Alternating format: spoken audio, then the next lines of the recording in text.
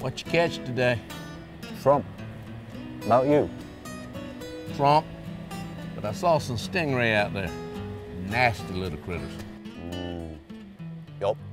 Sure are.